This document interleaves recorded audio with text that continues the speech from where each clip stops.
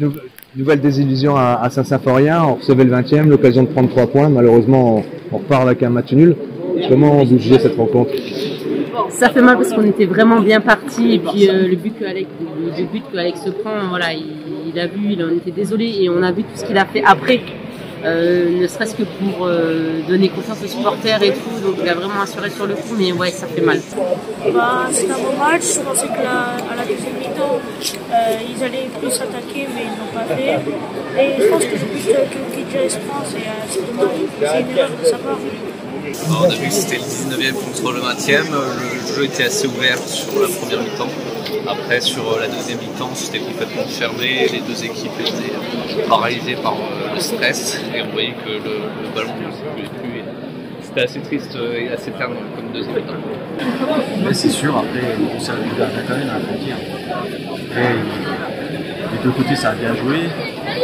Bon, c'est dommage, le match nul, c'est dommage. Fallait avoir les trois points ce soir. C'était un beau match. Et Là, il y a les prochains adversaires, c'est Marseille, Monaco, Bordeaux. T'as pas un petit peu peur pour la suite de la saison? Marseille, j'ai un peu peur, c'est c'est chaud. Euh, oui, surtout avec la canne qui arrive, sachant qu'avec tout l'effectif que nous avions aujourd'hui, on n'a pas réussi à faire du jeu, donc euh, les mois prochains s'annoncent assez difficile. Après, ouais, c'était des, beaux adversaires. Donc, on être sérieux, on jouer sur le terrain, continuer à s'entraîner et que les supporters euh, restent derrière avec le FCMS. Et bon, J'espère qu'on va réussir le maintien et que tout est possible encore. Voilà. Je suis, non, je suis confiante parce que justement c'est contre les gros qu'on fait des, des gros matchs. Donc euh, je suis confiante. Euh, L'année dernière, Monaco, on leur a mis 3-1.